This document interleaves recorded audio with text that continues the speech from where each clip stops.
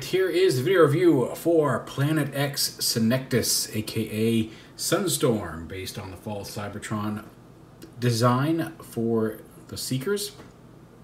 And uh, here he is. He's a little. Actually, this, from what I'm seeing on the screen, seems a fairly decent representation of his actual colors. There's a lot of pictures of him online, and they all seem to vary in how vibrant or muted his colors are. He's kind of a honey mustardy orangey yellow here with some more kind of a pumpkiny orange, I guess, in some of these places with some red detailing and then a bright yellow uh, cockpit.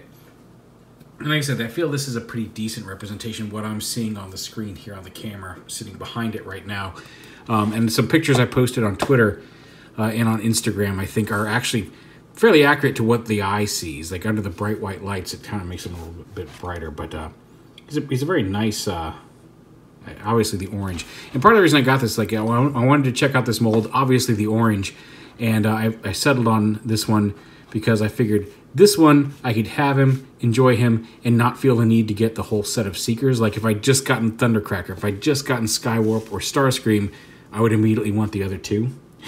and I've got, I don't have, I still have that, now that I've played with the mold, I still have that urge a little bit, but not as strongly as if I'd just gotten one of the three main Seekers. But here he is his jet. He does have this landing gear, which you can uh, you can kind of split these panels right here, and you can fold up into the nose if you don't want to use it. That makes him a little bit more aerodynamic and a lot more swooshable. He's fun. Uh, the jet mode. The guns are uh, stored here, pegged into the wings, although you can, uh, if you want, I'll show it off in a minute, you can peg them up here into the armholes. Um, a lot of pictures have his wings extended like this, which I think is indicative of the boost mode uh, from the game. You could you could speed up and things would happen on your on your vehicle. And, and it does extend the wings out a little bit in vehicle mode. I think they look better extended in robot mode. For jet mode, I, I like I don't like the gappiness in jet mode. I like them to be a little bit more secure and solid. But that's entirely up to you. like I said, you can take the oh, wing came unpegged here, but that's an easy fix. We can pop the guns off here. And that again, they, they, they peg in securely enough that you may untab this little peg here doing it, but uh, again, you just peg it right back into place. If you want, you can peg them in up here. Now, the, these pegs fold up, and it looks like maybe there's a, like, that's too thick for it. There's a slot up here that looks like maybe it's intended to attach some other way, but I haven't been able to find it. And I don't understand these slide these folding up is just super frustrating sometimes trying to get them to peg in especially under the wings here in jet mode. But if you want to, you can attach them up here like this. Up to you, or you can just leave them off altogether if you want just kind of a jet. Again, he is swooshable. Some clever things like how it all locks together, the way the arms lock in with these kneecap pieces or kind of over the kneecap pieces that store on the shins is kind of neat. Um, but yeah, fun little toy. We'll get to robot mode. Let's go ahead and do that. So you unlock the uh, the arms by kind of, you either just pull, open up, in this case I open up the whole shin, but this little piece can hinge down. But you see there's a little tab here that slots into these. On the arms, just open those up like this. And then you can go ahead and untab the upper arm here from the, the, yellow piece from the orange piece here. And that frees up the arms here. You can kind of fold them out to the side. Like that. Um, and then go ahead and take this piece, rotate it around and fold it down. That's kind of a shoulder pauldron. And then flip the arms out like this. And same over here. Flip that around. Just, this is going to make things a little easier so it's not in the way. Then these little ab pieces, you can see this is how they're supposed to sit in jet mode. And uh, it's kind of neat the way they fold up, but like the ball joints on these, you can see it's really loose, but it it's fine because in jet mode, they're all kind of tucked away in here, and once they fold the arms in, they don't wiggle. And when you get them to robot mode, they don't wiggle. They're, they're not loose that they pop off. They're just loose on that ball joint, which is fine. But swivel that hinge around, and basically just fold it around so it forms part of the abs here, the sides of the abdomen, like that. Go ahead and unpeg the wings from back here, and unpeg these from up here, this whole backpack assembly. Uh, go ahead and lift these up you can kind of, this piece is a separate piece, lift this up, lift this up. You can actually, if you want to, you can go ahead and rotate this around as well. But bring that out. And then on the legs, open up the shin.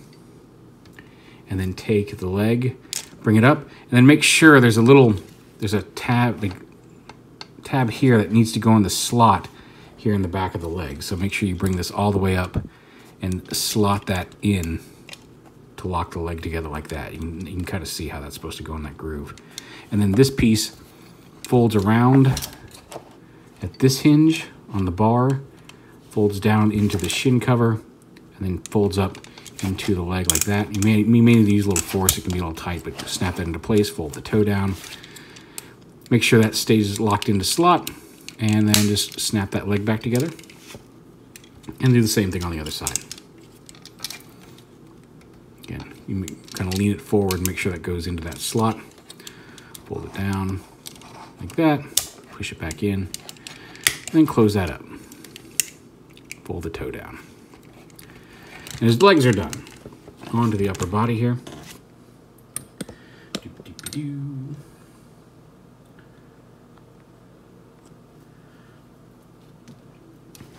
Open up his forearms, and there's there is a little tab here to help you flip his fists out. This one comes out very easily. This side uh, tends to give me issues. It, like, it just likes to rotate and get caught just a smidge. I can get it up there, but that hinges, the little tab here is not big enough for me to get the leverage to get it around and rotate out. But that's okay. Any, any sort of small tool you can use to just kind of, just pop it out. Just, like I said, just getting this, this little bit past this yellow lip, it, it's no problem. We'll bring those out. And then here, open up these two panels like this and then fold the nose cone up and in like that and bring this down and around make sure the arms are not causing any issues like this now before you get before you start tabbing all of this stuff together you can see we've rotated this around there's this hinge and this hinge but then this whole gray piece inside the body comes out on a hinge and lifts up like that. And once that's done, you can fold this all the way down and around. And there's a tab here. The tab from the landing gear will sit in this little slot right here on the on the abdomen like that. And then you can fold this tab in and it's going to tab in right here to the front of the headpiece. This little tab on the yellow tabs into the front of the neck assembly. Bring this around. Fold this piece up behind the head. And then on the back, take these pieces and untab them from right here, like this. And then they're gonna slide. But you wanna bring them up. Untab, open, the, open this piece and untab this piece. And these are gonna rotate around Okay, that just came on pegged there. Make sure I did this right. This is a slide up. Hold on. Yeah, okay, this is gonna go like this, so rotate this around. Get this snap back on here.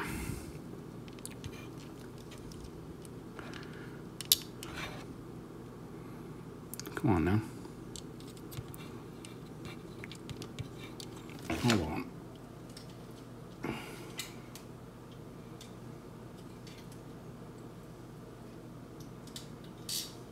There we go. There we go. Just looking at it from the wrong direction. Fold these around like this. Open these up, and then these are gonna fold up around like this. Now these you can see slide, you wanna slide those around. Bring these around like this and around like this on this hinge. And fold, these should fold in and tab into place.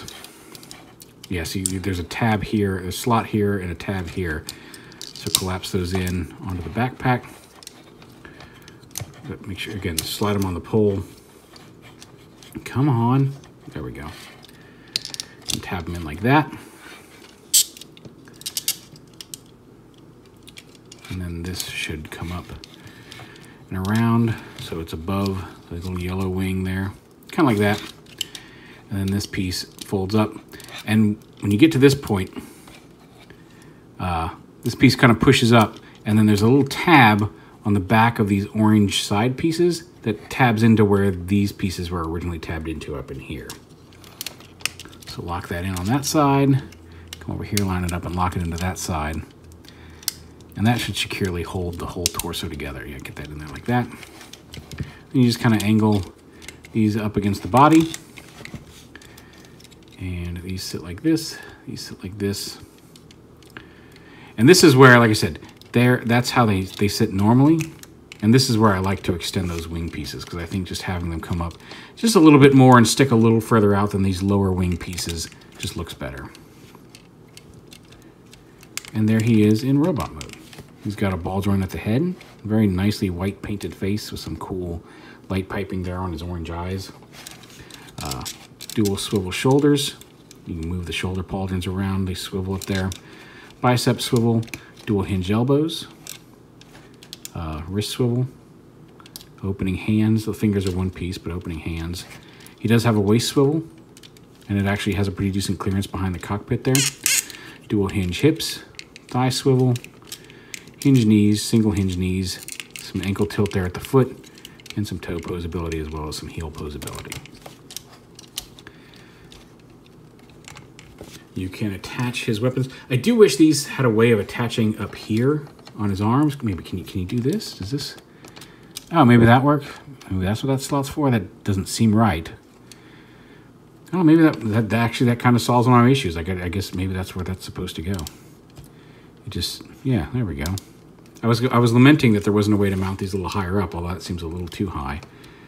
Because um, you either have them way up here, which doesn't look too too bad, or uh, you use the peg holes. You actually you can hold them as regular guns as well, or you can peg them in to the back of the arms, which looks a little awkward. Like they just stick out just a little bit too far.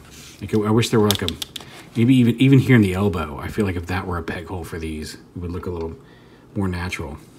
But I guess if you use, granted that's not super secure, but that actually looks kind of nice, pose like that. But anyway, we'll go ahead and attach him to his arms here.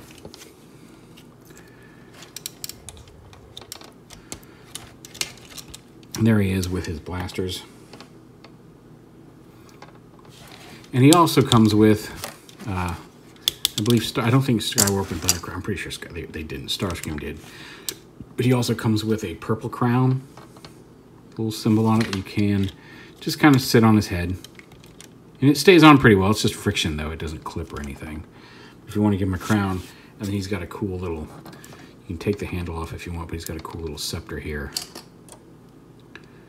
That, uh, I guess if you wanted to, you could pop this off.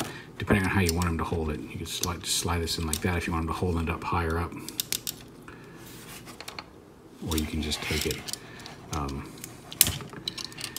I'm always a little wary about snapping something in like that because of thumbs and breaking.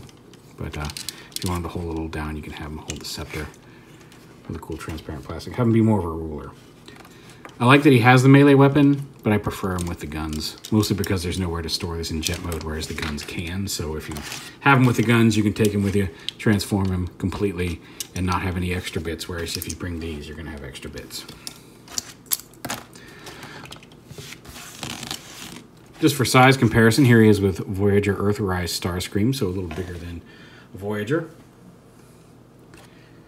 And here he is with the Planet X Jupiter, the metallic version. I have managed to secure a non-metallic version, so we're looking forward to them showing up. But there you go.